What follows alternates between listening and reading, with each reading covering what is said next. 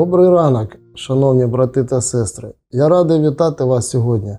Мене звати пастор Дмитро Михайлов, і ми разом дослідимо Слово Боже, яке принесе нам натхнення і благословення.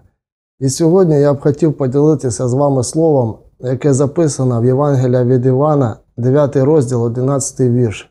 Написано: Чоловік, якого звуть Ісус, зробив грязево, помазав мої очі та й сказав мені: Іди в купальню Силоам і вмийся.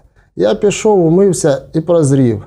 Ідучи з храму, в якому Ісуса хотіли побити камінням, він побачив сліпу від народження людину.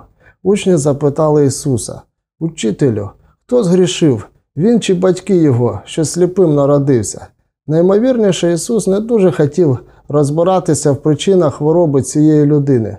Тому відповідь його була такою: не він не згрішив, ні його батьки, але щоб виявилися на ньому Божі діла. А ось зцілення було незвичним. Ісус плюнув у пісок, зробив зі слюни і піску бруд і поклав бруд в очі хворому, чим неймовірніше він викликав сильний біль. Він сказав йому: Піди, вмийся в купальні Силоам. Силоам у перекладі означає посланий. Отже, він пішов, умився і прийшов зрячим. Отже, ця історія зцілення є прикладом того, як Бог діє в нашому житті. Важливо бути слухняним Його словам і мати віру, що, виконавши Божі настанови, ми отримаємо зцілення і благословення. Амінь.